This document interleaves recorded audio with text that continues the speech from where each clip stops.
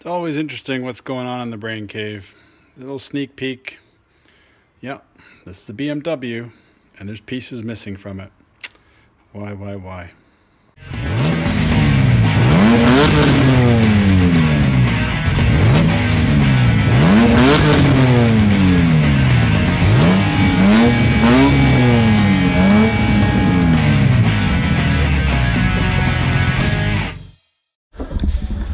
What is going on here? Wow. We got some major fabrication action happening. Some holes in the. Yes. I wonder if a custom brace is going in here. Picasso. All right, we got Master Fabricator Jones here.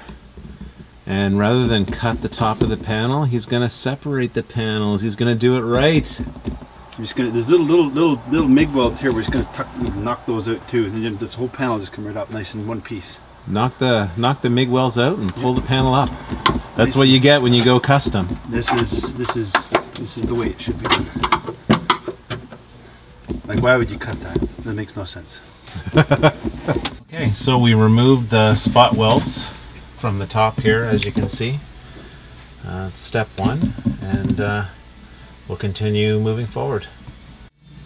Okay, next step is to use the cutting wheel to separate where the panel connects to the chassis frame and draw a line.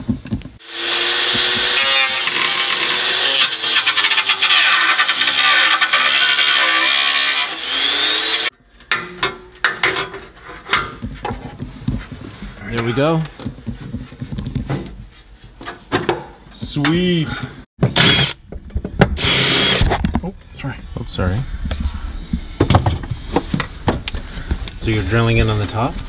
Yeah, just uh, so we're gonna t- we're gonna go against the welds. We welds it welds through, and then we drill through the first panel. So we're gonna be the same where the welds are. We're gonna we glue it all together. So that's the top of the top carrier of bolt the carrier the bolt. front subframe mount. Yep. So the the piece that we're gonna put in is gonna go like that. And it's gonna be connected just like that. So we're gonna be Sweet. all the way through. Welded right on top. Yeah. Okay, so this is the uh, the front dri- the front driver side. You see, there's a notch cut in that panel. Drop the light here for a second. And slide this in like this. Give you a bit of a concept of what it's going to look like. We're going to come right off the top of that um, that subframe mount, directly welded right to it. Then we're going to integrate it back into that corner, and then we're going to tuck that all underneath the flap. And when you see that little marker there, that little marker sort of, that's where we're going to have the bolt in uh, all triangulated. You can see there's a there's a gully there, so we'll get a triangle in there, and it'll be super super strong and tacked all together. One uh, one monocoque unit. Very exciting.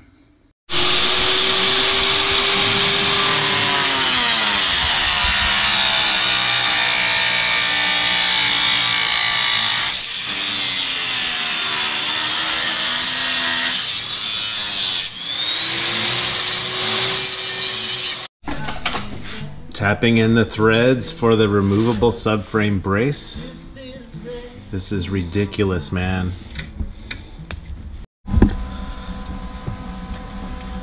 Okay, here's where the magic is. You can see this custom bracket that was built that sits on top of the carrier bolt for the front subframe with the panel removed. It follows up it sits on top of a panel underneath of it and then jets out into the floor in the rear where you can see two bolt holes where the removable brace will go. So this in itself, welding this in place is going to be enough to support the subframe and then the removable brace is going to give it that much more strength. Over here on the passenger side, same thing, all set up, ready to be welded in. And this is crazy. Hey boss, what's Hi. next? I don't know. You don't know? Hot dogs. Hot dogs?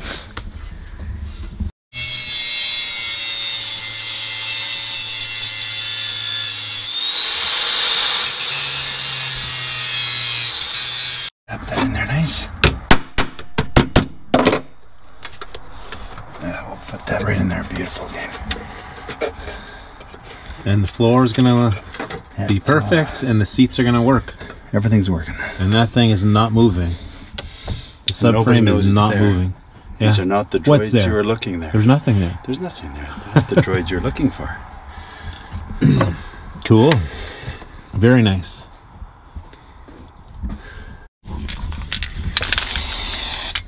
Nice welds. Not really, but they're a pain in the ass to weld. and they're so thin.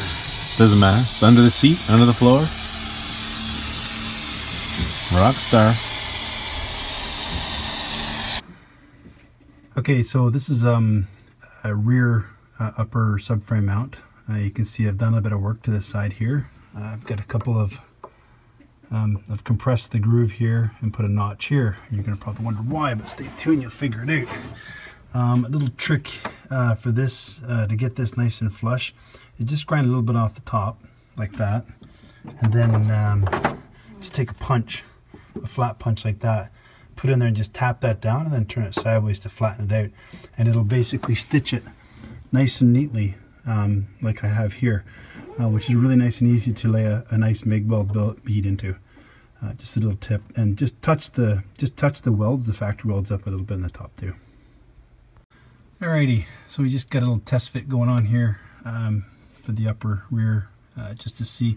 So we're gonna what we're gonna do is we're gonna weld all the way along here, uh, right across the top of the um, the, the int- internal uh, mount, then across the top here as well, uh, which will line up. Will basically give us an L across the actual um, uh, internal the, the the bolt where the subframe comes in. Then what we're gonna do is we're gonna weld this right to the side frame here, nice and tight. And then when we put the panel back on, it'll create another. It'll it'll basically be double triangles, um, and really stiffen up uh, this point. And um, of course, there's more to it, but this is just give an idea. This is just a just a layout uh, where we're going with this. All right, we're just gonna put this extra brace in here. Just lay it in there like that, nice and neatly. It's up against the front there. Fits it over here, nice and tight.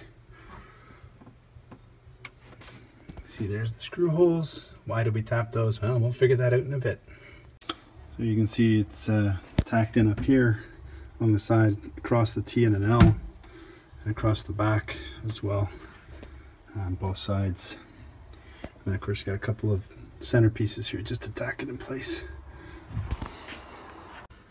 Well, everything's uh, back together. Things hidden underneath there. You can see a couple of screw holes peeking out, little slots cut for them. We'll see what that turns into.